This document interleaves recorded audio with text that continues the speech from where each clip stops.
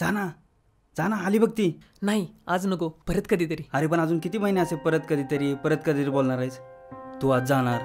उद्या दुसरं कोणी तिला विचारले आणि ती त्याला हो म्हणाली. मग बस आयुष्यावर टाळ वाजवत. नाही नाही. आज बोलूनच टाकतो.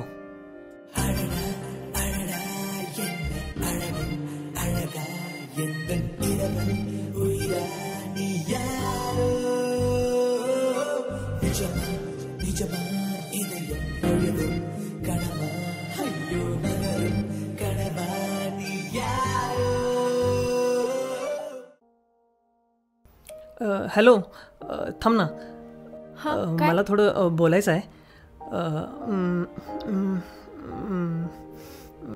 ऐक ना. अ, अ, म्हणजे खूप दिवसापासून तुला काहीतरी बोलण्याचा म्हणजे अ, विचारण्याचा प्रयत्न करतोय पण हिंमतच होत नव्हती. अ, मग कॉलेजच्या सुट्ट्या पण संपतायत आणि उद्यापासून कॉलेजला पण जायचं आहे अ, मग विचार केला. आज नाही तर मग कधीच नाही. अ, म्हणजे मी तुला जेव्हा पहिल्यांदा पाहिलं ना अगदी तेव्हापासूनच असं सैराट म्हणजे फॉलो पण केलं मी तुला. परंतु कदाचित तुझं लक्ष गेलं नसेल. एका रविवारी तर तू चक्क बेचाळीस वेळा घरातून बाहेर बाहेरून घरात आय मीन सॉरी यार मला काय बोलायचं ते माझं मलाच कळत नाही मी जाते. थांब ना एकच मिनिट. मला ना तू खूप आवडतेस. म्हणजे फक्त आवडत नाहीस. म माझं खरंच खूप मनापासून प्रेम आहे तुझ्यावर. म्हणजे तुला मी कसा वाटतो मला माहीत नाही.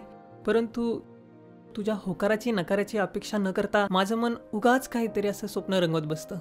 की आपण एखाद्या बागेत बसलोय हातात हात घेऊन. म्हणजे आताच्या अगदी उलट तूच खूप सारं काही असं बोलतेस आणि मी फक्त ऐकत राहतोय.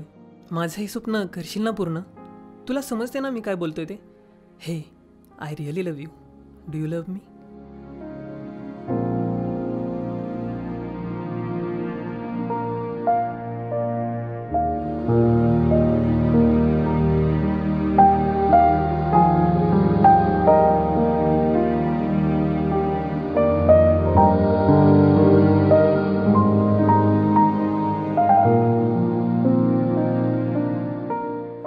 प्रत्येक वेळी रिप्लाय देताना अर्थपूर्ण शब्दांच्या मांडणीत बसलेल्या वाक्यांची गरज असतेच असं नाही. पण पण हे शब्दच तर असतात जे मनावरचं दडपण कमी करत नाती फुलवतात. खूप दिवसानंतर भेटतोय ना आपण? खूप दिवस कुठे? मागच्या आठवड्यात तर भेटलो होतो आपण मार्केटमध्ये. हो ना पण पाच सहा दिवस झालेच की त्याला. हा ना. कॉलेज संपल्यामुळे तेवढं चालायचंच रे. पण काय रे? आपण काय धमाल केली आहे कॉलेजमध्ये? तू तर बघेल तेव्हा बाहेर फिरत असायचास. तू आणि तुझे ते उन्हाळ मित्र बघेल तेव्हा गेटवर टाइमपास करायचे. किती वेळा सांगितलं लेक्चर करत जा पण टाइमपास करण्यातून वेळ भेटेल तेव्हा आत येशील ना? पण काय रे? एवढं काय असायचं त्या गेटवरती? की फक्त डोळे शिकायला म्हणून जायचंस? आम्ही आपल्या लेक्चरमध्ये त्या प्लासीची लढाई बक्सारची लढाई अठराशे सत्तावन्नचा उठाव शिकायचा? आणि तुम्ही? गेटवर जाऊन पाखरं बघायची? तुला काय वाटलं रे? मला काही कळत नाही. तू बघ एकदा एका मुलीला विचारलेलंस घड्याळात किती वाजलेत? ती माझी मैत्रीण होती. तिने मला येऊन सांगितलंय.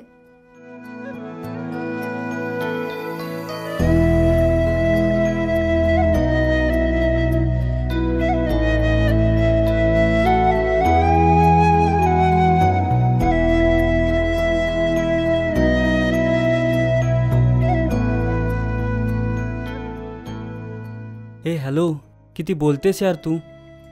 एक मेसेज केला तरी त्याचे दहा रिप्लाय देतेस. बोर नाही होत का तुला? कंटाळा कसला रे वेड्या त्यात उलट मला तुझ्याशी बोलून खूप रिलॅक्स फील होतं. आय लव्ह यू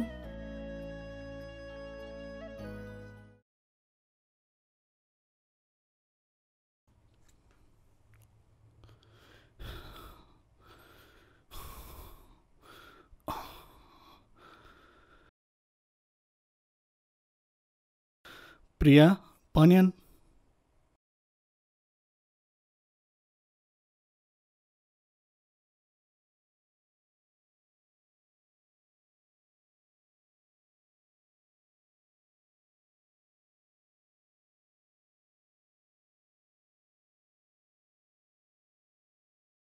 काय चाललंय हा? जरा हळू बोलत जावा. बाहेर येता जाता सगळेजण दाराकडे बघून पुढे जाऊ लागलेत. हो हो सांग तुझ्या बायकोला. स्वतःची नाही किमान आमची तरी लाज राख म्हणावं. तर तर एवढीच लाज वाटत असती तर रोज उठून तमाशा नसता केला. प्रिया काय बोलतीये या हो तर तुम्हाला माझंच बोलणं दिसणार. आई नाही का तुमची ती? अगं मी असतो का दिवसभर घरात? आता घरात काय होतं ते सांगितल्याशिवाय कसं कळणार? बोल काय झालं? हो तिलाच विचार सगळं. म्हणजे खरं खरं सांगल ती. अगं तसं नाही आई. मी दोघांचं पण ऐकून घेणार आहे. बरं तू बोल आधी. हो स्वतःच्या आईवरच लय विश्वास ना? अगं तू जरा गप्प बसशील का दोन मिनटं? तू बोल आई. अरे मी तिला फक्त एवढंच म्हटली की भाकरी नीट भाजत नाही. जरा लक्ष देऊन काम करत जा. तर मलाच उलट बोलत्या. एवढं आहे तर तुमचं तुम्हीच करून खात जा. आता सांग बरं वय झालं माझं. होतंय का माझ्याच्यानं? म्हणून तुझं लगीन करून आणलं? तर तुझं लगीन झाल्यावर पण सगळं मलाच करायला लागणार असेल? तर त्याचा काय उपयोग? हो मोलकरीनच नाही आणली का नवीन? प्रत्येक कामात ह्यांच्या चुका ऐकून घ्या. कुणी सांगितलं एवढं? अगं तसं नाही. काहीतरी चुकत असेल म्हणून सांगत असेल ना तुला ती. तर तर तुम्हाला आईच दिसणार ना तुमची? आम्ही काय नोकर? आम्हाला कोण किंमत देणार? म्हणूनच नोकरासारखं राहायचं. महाराणी नाही लागून गेली तू. हो. आणि तुम्ही काय कुठल्या राजाच्या मासाहेब नाही लागून गेलात? जरा गप्प राहाल तुम्ही दोघी.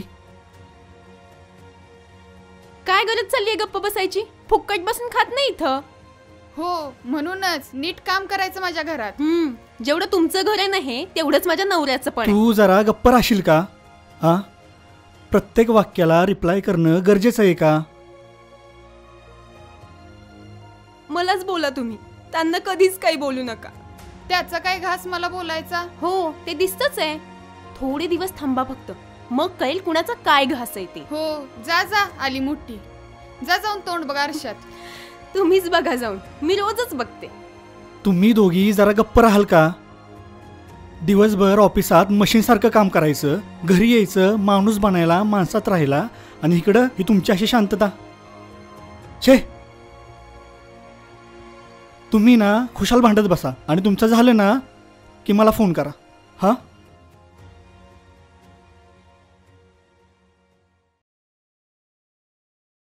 असा हा रिप्लाय.